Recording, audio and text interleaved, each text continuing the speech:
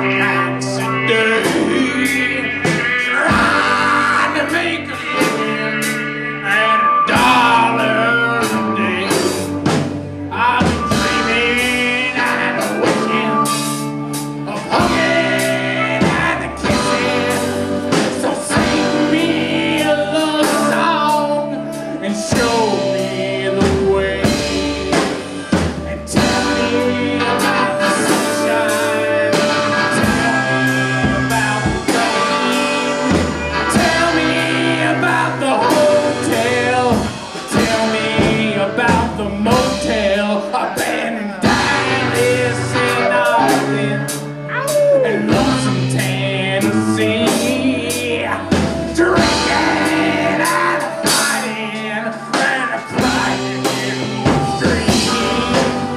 I've been playing these here songs.